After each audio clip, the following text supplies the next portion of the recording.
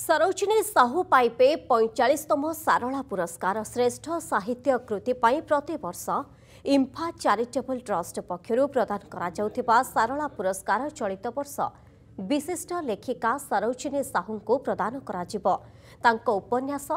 अस्थिर पाद से यही पुरस्कार प्रदान ଅକ୍ଟୋବର ଛବିଶ ତାରିଖରେ ଏକ ସମାବେଶରେ ତାଙ୍କୁ ଏହି ସମ୍ମାନ ପ୍ରଦାନ କରାଯିବ ଏହାସହ କଳା କ୍ଷେତ୍ରରେ ଜୀବନବ୍ୟାପୀ ସାଧନର ଉତ୍କର୍ଷ ପାଇଁ ଇଲା ବଂଶୀଧର ପଣ୍ଡା କଳା ସମ୍ମାନ ବିଖ୍ୟାତ ଭାସ୍କର୍ଯ୍ୟ ଶିଳ୍ପୀ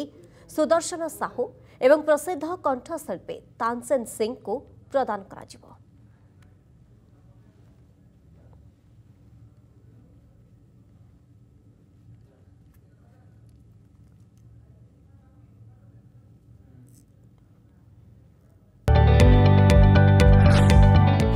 जदि आपण को आम भिड्टे भल लगा तेब आम चेल्क लाइक सेयार और सब्सक्राइब करने को जमा भी बुलां नहीं